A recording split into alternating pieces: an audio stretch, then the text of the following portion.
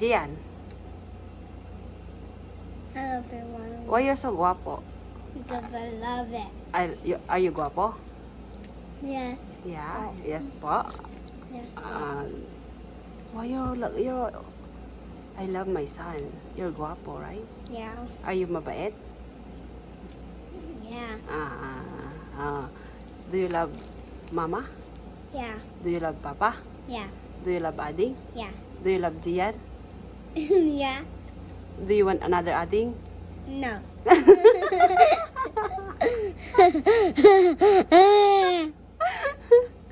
Why no? because I want another thing. Why?